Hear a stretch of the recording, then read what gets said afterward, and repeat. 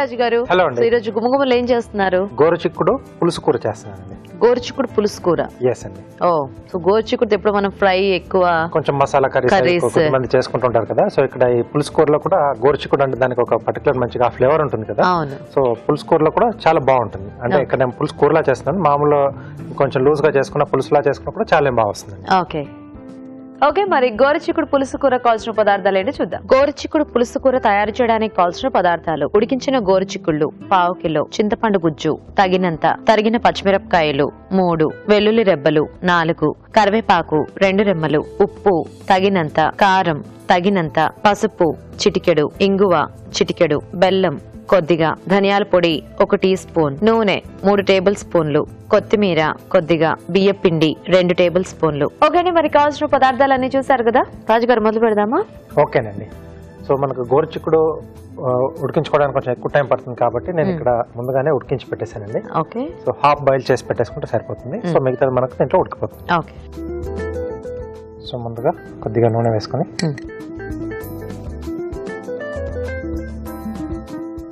పచ్చిమిరపకాయలు. ఓకే. వెల్లుల్లి రెబ్బలు మీద పేస్ట్ చేసుకున్నాం.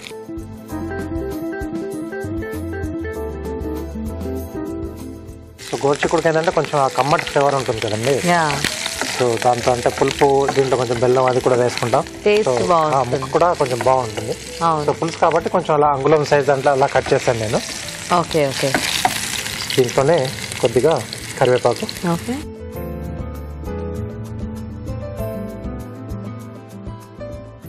అలాగే కొంచెం ఇంగువ అండి.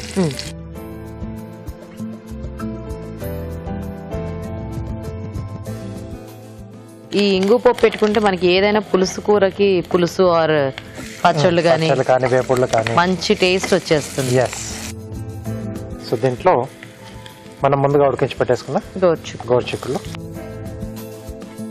సో యూజువల్గా కొద్దిగా పులుపు తీపి యాడ్ అయితే కొన్ని వెజిటేబుల్స్ అంటే ఉట్టిగా మనము తిన్నప్పుడు అంత టేస్టీగా అనిపించినవి కూడా కొన్ని రకాల ఇలాంటి రెసిపీస్లో చాలా బాగా అనిపిస్తాయి. సో ఎందుకంటే గోరుచిక్కుడు కూర కూడా చాలా మందికి ఎందుకు మరి నచ్చదు. యాక్చువల్గా చాలా బాగుంటుంది. చాలా బాగుంటుంది. ఎక్కువగా ఏంటంటే నచ్చదు కాబట్టి వేపుడు లాంటివి చేసేసుకొని కొంచెం. కొబ్బరి కొబ్బరి అది వేసుకొని అదే అలాగే చేస్తూ ఉంటారు. యా వేపుడు ఇంకా పైనుంచి కొబ్బరి తురుము. అంటే ఎక్కడ చూసినా ఆల్మోస్ట్ అదే కనిపిస్తూ ఉంటుంది. సో ఈ పోపుతో పాటు కొంచెం వేగితే బాగుంటుంది. ఓకే రాజు గారు. సో మేము చిట్కా చూసేస్తాం ఓకే. ఓకే అండి ఇప్పుడు మనం ఒక చిట్కా చూద్దాం. ఇప్పుడు మీకోసం మొదటి చిట్కా. కళ్ళ చుట్టూ నల్లటి వలయాలు కళ్ళ చుట్టూ ఉన్న ముడతలు తగ్గించుకోవడానికి మనం ఎన్నో రకాల చిట్కాలు చెప్పుకుంటూ ఉన్నాం కదా? ఈ చిట్కా కూడా ఫాలో అవ్వండి. ఆల్మండ్ ఆయిల్లో ఆలివ్ ఆయిల్ కొద్దిగా కలుపుకొని దీన్ని కళ్ళ చుట్టూ కనుక మృదువుగా మర్దన చేసుకుంటూ ఉన్నట్లయితే కళ్ళ చుట్టూ ఉన్నటువంటి నలుపు పోతుంది. అలాగే కళ్ళ చుట్టూ ఉన్న ముడతలు కూడా చాలా వరకు తగ్గుతాయి. చిట్కా చూసారు కదండి? ఓకేనా రాజు గారు. ఓకే అండి. సో వీటిల్లో సరిపడా ఉప్పు? వెల్లుల్లి కూడా కొంచెం ఎక్కువ వేస్తే బాగుంటాయి కదా పులుసులో పులుసులో బాగుంటుందండి కొద్దిగా పులుపు అది తగిలి మంచి టేస్టీగా తయారవుతుంది. కొద్దిగా కారం. ఓకే. అలాగే కొంచెం పసుపు అండి. పులుసులు అనేసరికి ఎక్కువ అంటే ఈ మునక్కాళ్ళు లేకపోతే సొరకాయ గుమ్మడికాయ. ఇలాంటివి జీలగడ దుంప ఇలాంటి వాటికి ఫిక్స్ అయిపోతూ ఉంటారు కానీ కొంచెం డిఫరెంట్ వెజిటబుల్స్తో కూడా ట్రై చేస్తే ఎలా ఉంటుంది అనేది ఒకసారి మనం అనుకుంటే తెలుస్తుంది. కూడా తెలుస్తుంది సో దీంట్లో చింతపండు గుజ్జు. ఓకే. సో ఇది కొంచెం మనకు మగ్గితే ఏంటంటే కొంచెం ఆ పులుపు అనేది కొద్దిగా తగ్గుతుంది. సో కమ్మదనం అనేది యాడ్ అవుతుంది. సో ఇది కొంచెం మరుగుతున్నప్పుడే దీంట్లోనే బెల్లం కొద్దిగా ధనియాల పొడి మ్మ్. సో ఇది కొంచెం దగ్గరకు వచ్చిన తర్వాత దీంట్లో కొద్దిగా వాటర్ వేసేసి మనం బియ్య పిండి యాడ్ చేసేసుకున్నాం వెల్లుల్లి అనేది అంటే ఈ పులుసులో సో వాళ్ళ చాయిస్ అండి. సో వాళ్ళు తీసుకుంటే వేసుకోవచ్చు లేకపోతే వెల్లుల్లి లేకుండా కూడా చేసుకోవచ్చు. సో ఇంగువ కూడా ఉంటుంది కాబట్టి ఆ టేస్ట్ అనేది బాగానే ఉంటుంది. సో ఇప్పుడు బియ్య పిండిలో కొద్దిగా వాటర్ యాడ్ చేసేసుకున్నాం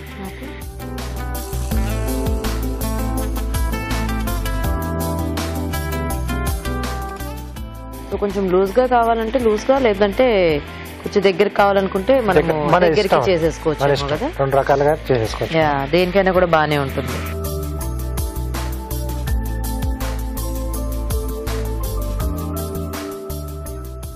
మంచి టెక్స్చర్ వచ్చేసింది. ఎస్ దీంట్లోనే కొద్దిగా కొత్తిమీర వేసేసుకున్నాం ఓకే.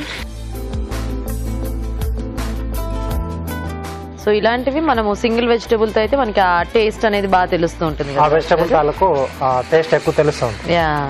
ఓకే. సో రెడీ అయిపోయింది.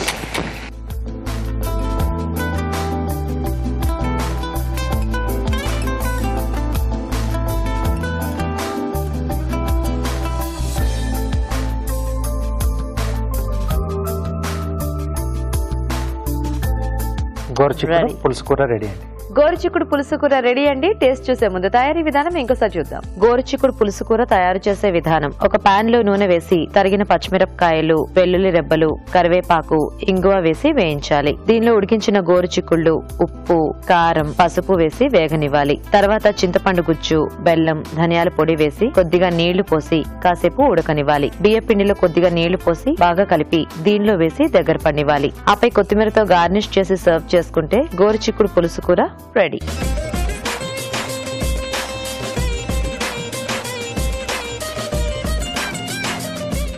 ఓకే అండి తయారీ విధానం చూసారు కదా? రాజు గారు టేస్ట్ చూద్దామా? ఓకే అండి.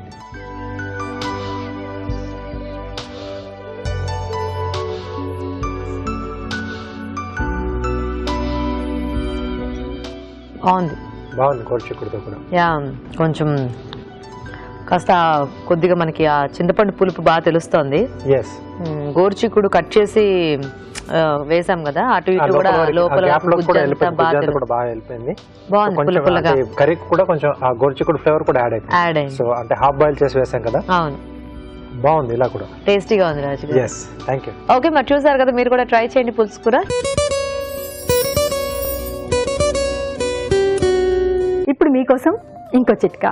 వేసవి కాలంలో ఎక్కువగా ద్రవ నష్టం జరుగుతూ ఉంటుంది ఒంట్లోంచి అంటే చెమట రూపంలో నీరంతా బయటికి వెళ్ళిపోతూ ఉండడంతో చాలా త్వరగా డిహైడ్రేషన్కు లోనవుతూ ఉంటాము. చాలా త్వరగా అలసిపోతూ ఉంటాము. ఇలాంటప్పుడు పెరుగులో పుదీనా కలుపుకొని కనుక తీసుకుంటూ ఉన్నట్లయితే ఈ అతిదాహం సమస్య తగ్గుతుంది. అలాగే డిహైడ్రేషన్కు లోనవ్వకుండా వేసవి తాపం నుంచి రక్షించుకోవచ్చు.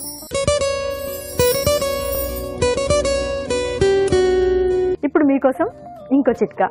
మామూలుగా మనం స్నాక్స్ గాను బ్రేక్ఫాస్ట్ గాను రకరకాల స్వీట్స్ కోసం బ్రెడ్ ఎక్కువగా వాడుతూ ఉంటాం కదా. మరి ఈ బ్రెడ్ ఒకటి రెండు రోజులు అయిన తర్వాత ఎండిపోయినట్లు అవుతూ ఉంటుంది. ఎండిపోయింది కదా అని పడేయకుండా దాన్ని పొడిలాగా చేసి పెట్టుకుని గ్రేవీ కూరల్లో కనుక వేసుకున్నట్లయితే కూరలకు అదనపు టేస్ట్ యాడ్ అవుతుంది.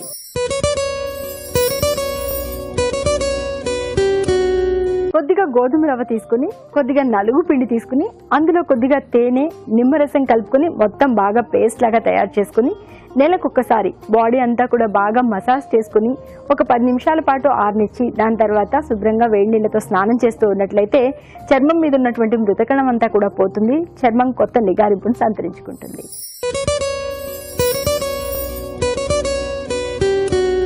ఇప్పుడు మీకోసం ఎంటీఆర్ మసాలా వారి చిట్కా.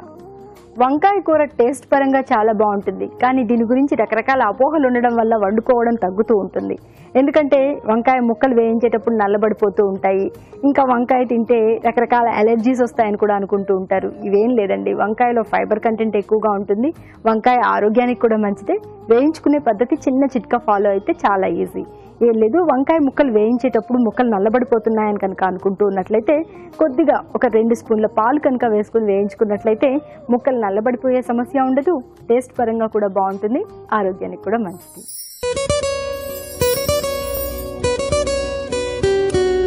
ఇప్పుడు మీకోసం ఇంకో చిట్కా. కొద్దిమందికి అలా పడుకున్నామో లేదో నిద్ర పట్టేస్తూ ఉంటుంది. మరి కొంతమంది ఏమో మాట్లాడుతూ మాట్లాడుతూ అలా నిద్రలోకి జారుకుంటూ ఉంటారు. ఇంకొంతమందికి ఎంత ప్రయత్నించినా నిద్ర పట్టదు. నిద్ర కోసం అసలు ఎంతో ఇబ్బంది పడుతూ ఉంటారు. ఇలాంటి వాళ్ళు ఈ చిట్క ఫాలో అవ్వండి. రాత్రి పడుకునే ముందు ఒక గ్లాస్ గోరువెచ్చటి పాలు కనుక తాగి పడుకున్నట్లయితే నిద్ర బాగా పడుతుంది. అలాగే పడుకునే ముందు అరటిపండు తిన్నా కూడా నిద్ర బాగా పడుతుంది.